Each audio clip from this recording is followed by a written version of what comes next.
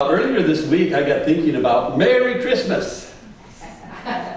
Merry Christmas. Yes, Merry, I'll say it, Merry Christmas. Merry Christmas. Merry Christmas, you bet. And I started dwelling on that idea of Mary. You know, it's wonderful that we have a Christmas greeting that says Merry Christmas. And what does that mean? That means, hey, have a happy, happy, Merry Christmas. We Americans lately are not acting that way, are we? You know, to be merry. What does it mean to be happy and merry and exuberant? We are to be merry and we're putting a blessing on people. Yeah. Merry Christmas. Have a Merry Christmas. Yeah. Isn't that a neat idea? Yes. Just to really be happy. Just to be merry. Kind of carefree, joyful. What a wonderful concept. Isn't that neat? So, I had a moment of joy yesterday. I, I've been working hard on the FYI about God, and I had done the, the first video initially was the one on reasons to believe. But I look at it and I go, it, it needs to be redone. I need to have a better polish on it. I, I need to have a better order of it. So I worked and rewriting that, putting that together, and I finally got it re-recorded. And to me, it was such a big deal because the things that are shared in that video, I believe are, are going to really catch many, many people. I think many people that we can send it to that normally either are not Christians or they're very nominal and they don't really see much benefit in faith. But I'm wowed by all these things that are shared. And I kind of promised at the beginning it's going to blow your mind, and it does. There are so many amazing things in that. But I have great hopes. It's going to be an evangelism tool that we can send. Uh, how many people are you in contact with? You can send a Christmas card and say, look here, be blessed with faith, the gift of faith this winter, this Christmas. What I want to do, once I finally get it to a point really where I really want it to be, it's been slower in coming than I wanted. I want us every week to look at the numbers, see how many people have seen these things, and try to keep upping the numbers. One, one of the things I did too with reworking it, I go, I need, you know, I learned in sales that there's no sense telling people all about a product unless you have a closure, unless you can close the sale. So I wanted, after all this evidence of God and the Bible and Jesus Christ, to say, so here's, you know, God is real. These are things we need to know. So I invite you to come along with me to these lessons of the 14 most important things that God says in the Bible that we need to know. So invite them on to the Foundational Christian Teaching series. Anyway, when I got done with this, it's been weighing on my brain for a long time. And when I got done with it, I realized I just had a sense of joy. I was just happy. I, I just had a sense of joy. Yes, finally got it more like I want. I, I, I never do anything perfect. I look at all my messages, and just like a carpenter can always look at any project and say, well, it wasn't very good here or there, you know. That's why carp carpenters invented trim to cover up all their mistakes, you know. Isn't that true? And uh, it's just like cooks. My mom was bad at that. We tried to keep correcting her, but she was, she's a tremendously good cook. But whenever we sat down to a meal, she would start apologizing. And she would say, well, the gravy wasn't quite as good, a little bit lumpy here or there, or the turkey was this. I go, Mom, you don't need to apologize. Nobody else would recognize it, you know. So I never do things perfectly, but the information, I believe, is going to catch many, many people. And I think it's going to wow them to start going, wow, well, there really is something of substance with believing in God. Look at these amazing facts. Look at how the Bible's been proven over and over. Look how Jesus Christ has been proven over and over. Wow, there's some substance to this. I need to know more about God. So I, the reason I redid the Reasons to Believe, because that's going to be the catch-all that can bring people into the rest of it. So when I got this finally done good enough to where I feel, it will make the points that I want to make, I just had joy. And I got out of there and I just go, boy, I am so happy. This is done. I, not done, but it's done the way I want it to be. I, and then I realized something. Hey, I'm feeling joy. I'm feeling joy. Isn't it good to feel joy?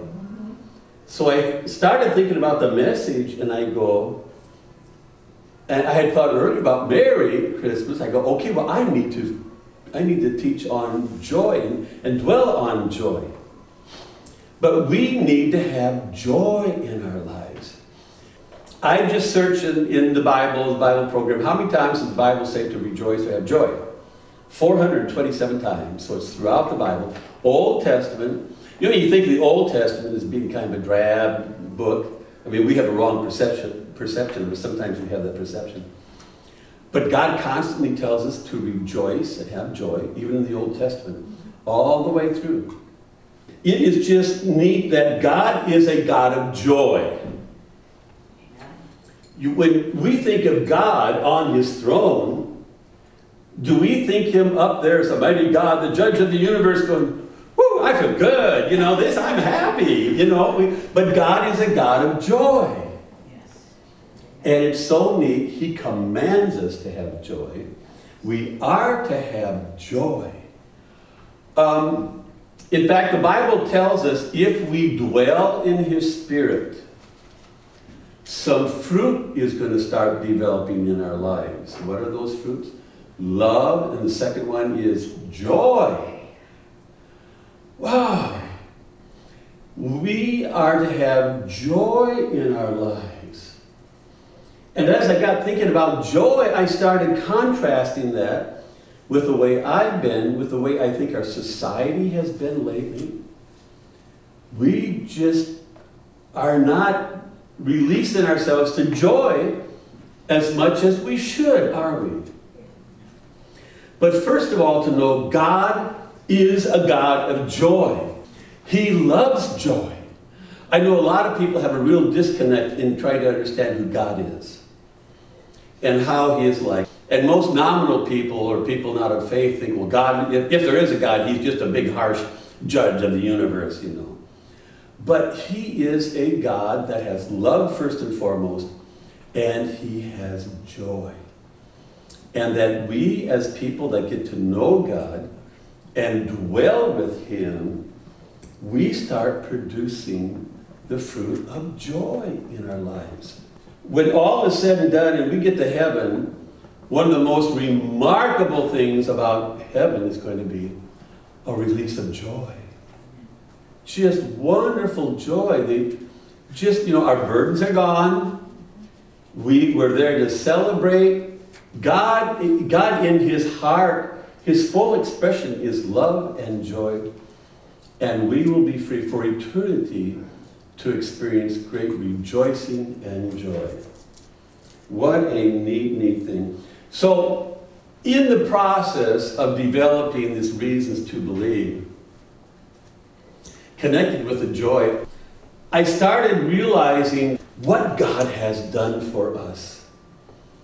Not only with the whole Bible, with the history of mankind in the Bible, but the fact he sent his own son in human flesh to be our Savior, to be our friend, the one that intercedes for us with God the Father.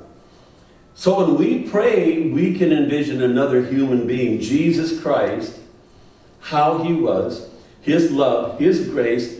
He's so approachable. And what a wonderful thing we have that God has done for us by sending us Jesus Christ. One of the segments in proofs that I love about Jesus Christ, there are many. One of the things I say too that Jesus is a man of history. He's probably more, more proven, more talked about even than Julius Caesar.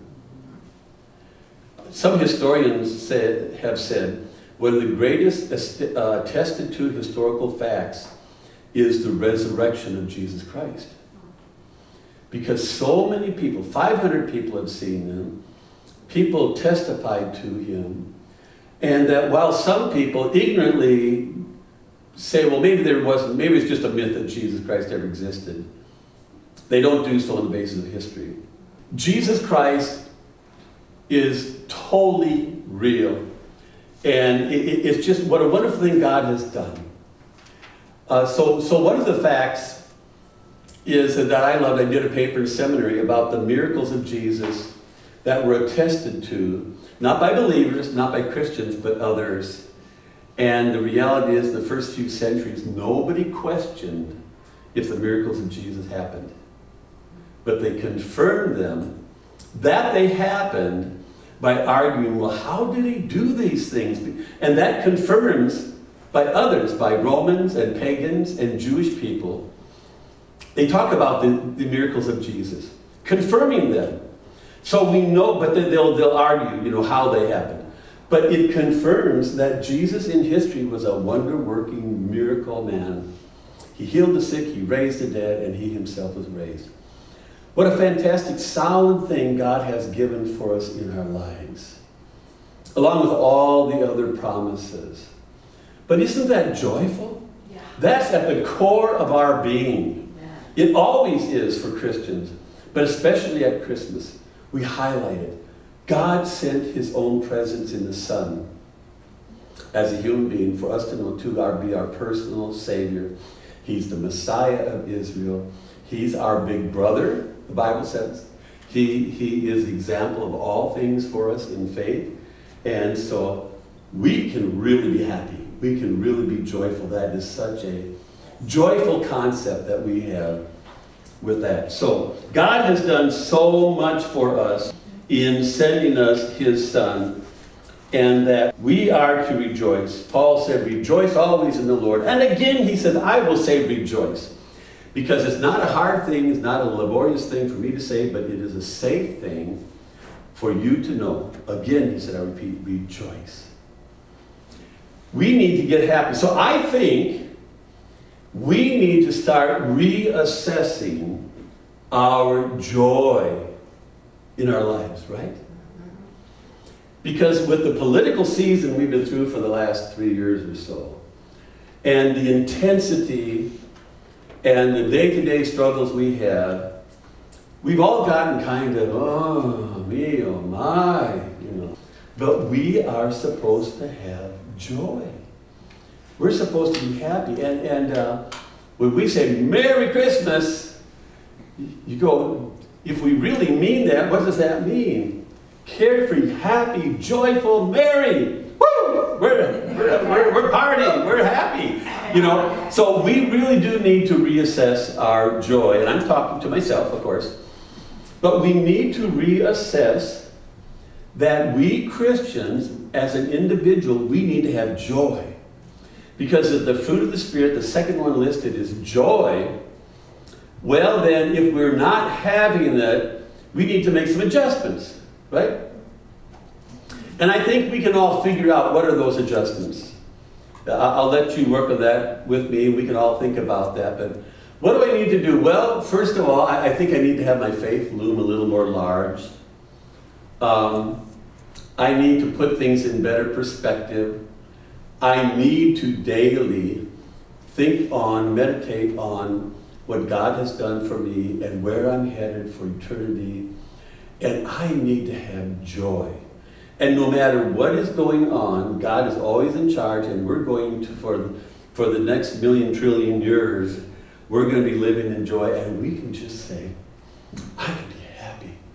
No matter what happens, we can have joy. And I think if, if you ever meet somebody, if you meet a, a group of people you want to hang around with, if you want to hang around a bunch of sourpusses, uh, is that going to be as, as appealing as hanging around someone that just is up and joyful?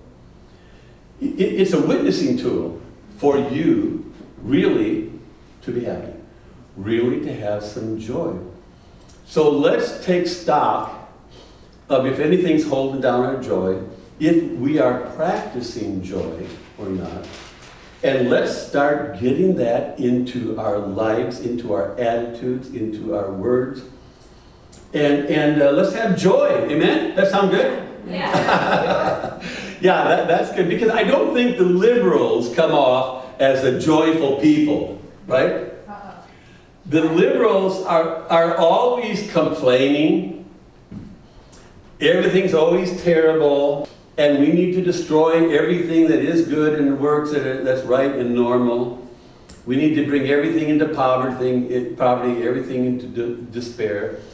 And if they do have any expressions, it's about perversion, it, it's about discontentment, it's about anti God, not pro God.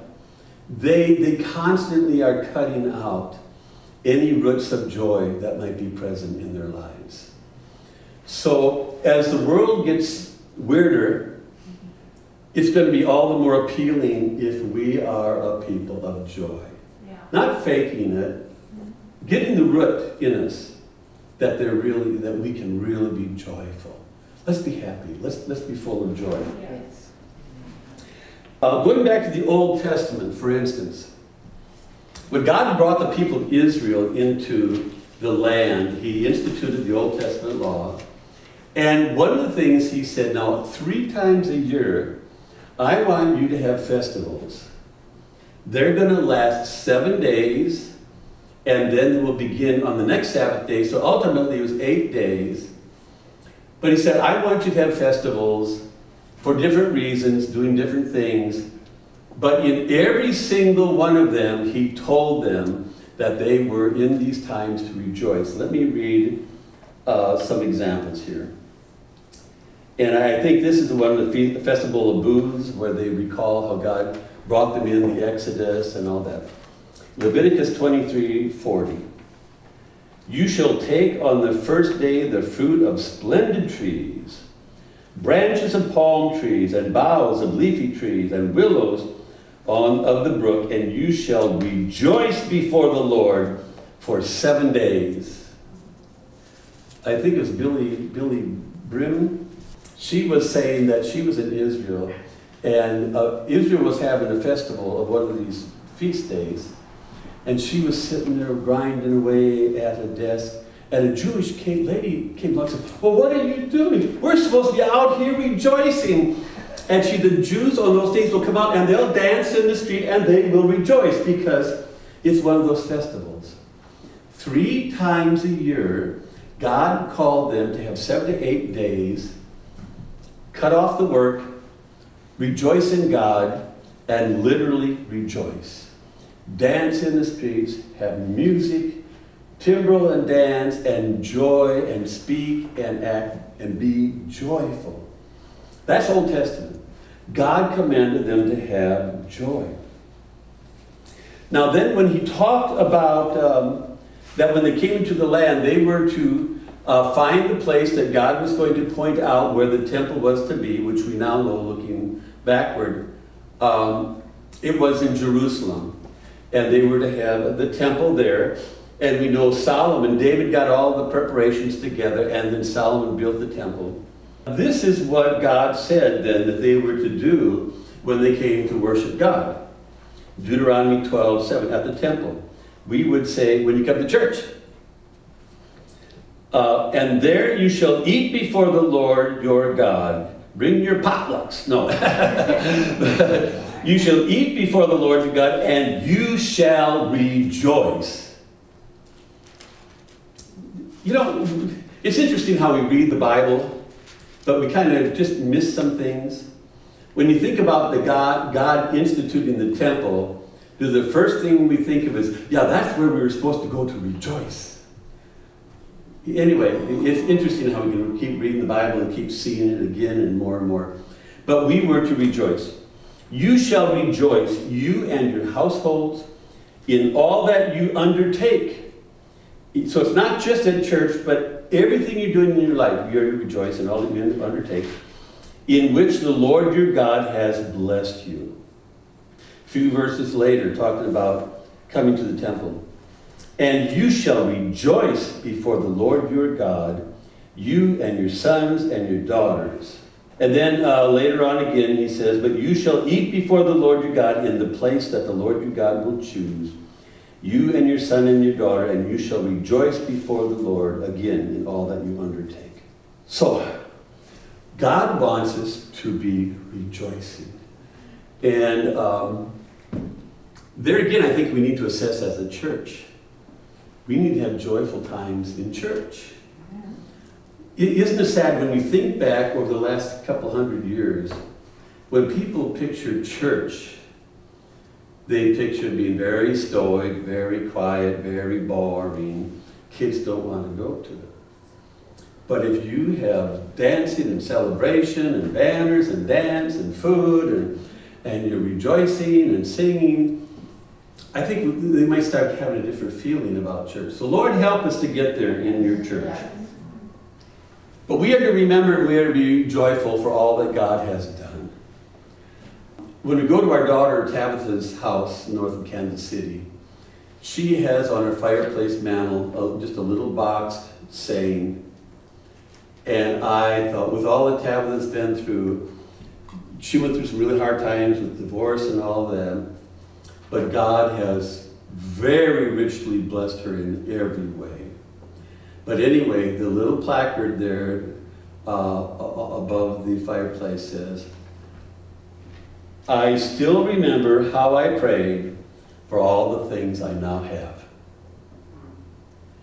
Isn't that good? I still remember now how I prayed for all the things I now have. Isn't that sweet? Isn't that awesome? And we've often said we need to remember, we need to make notes about how God answers our prayers and gets us through. There's so many times in life you go, Oh Lord, I don't know how I'm going to get past it. Don't know how I'm going to pay bills. I don't know how I'm going to get my health back. I don't know how we're going to do this or that. And God gets us through, and then we forget. And people always do that, but we need to remember all that God has done. So we celebrate Christmas and the announcement to the shepherds, right? The angel said to them, Fear not, for behold, I bring you great sort of good news, sort of. No.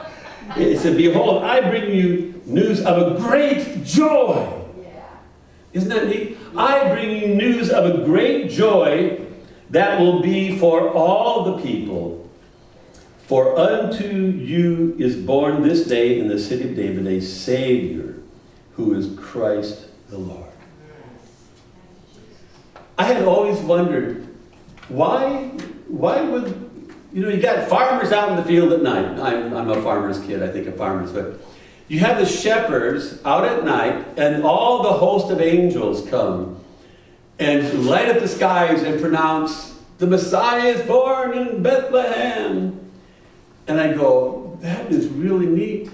Not that I'm just disparaging shepherds, but why did the angels announce the birth of the Lamb that takes away the sin of the world to the shepherds? Then a couple years ago, we heard in Bethlehem, nearby Bethlehem, the Levites that had to prepare sacrificial lambs for the temple had a large birthing operation, raising sheep, to because they had always had to have a year-old lamb that was pure and, and bring it to Jerusalem. So Bethlehem was a place where the shepherds watched over the birthing lambs that would be used for sin offering. How appropriate that saying, the, the, the lamb to the shepherds.